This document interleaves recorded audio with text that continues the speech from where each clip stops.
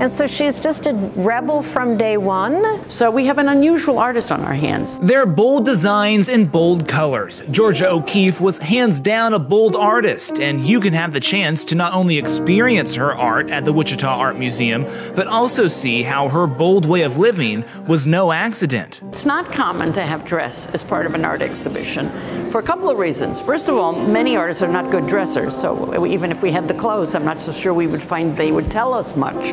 Wanda Corn has spent years studying Georgia O'Keeffe's clothing, trying to reveal the mindset of an art legend. I think people will say to themselves, What do I learn about her art?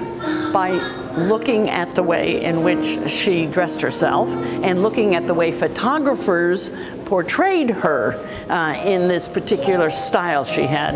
The Art Museum is letting visitors have an immersive experience to not only view O'Keeffe's art, but portraits of the artist in a collection of her clothing. This is an artist who kept her own clothing, so you get much deeper into the backstory and the life of the artist to understand her artistic vision and things that really influenced her painting. This art exhibition has only been on display in major cities. And the other cities are New York, Boston, Cleveland, Miami, and Wichita. A lifetime of art, a lifetime of style. And right now, you can only find it in Wichita, the heart of the country.